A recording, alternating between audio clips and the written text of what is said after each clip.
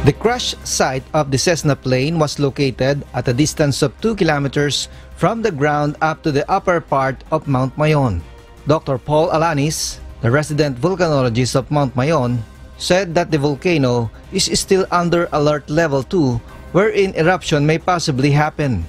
Even if the search and rescue operation will use chopper, it may still pose a danger.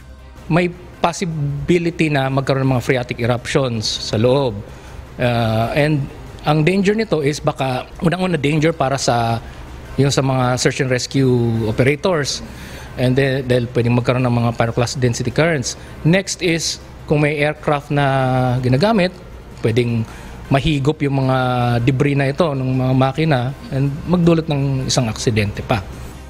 The crash site is a steep slope and a rockfall has also been recorded in the volcano. If a ground search and rescue operation will be conducted, there are some challenges because of the weather condition in the past days. But according to the Philippine Atmospheric, Geophysical and Astronomical Services Administration or PAGASA, improved weather condition in Bicol is expected until weekend.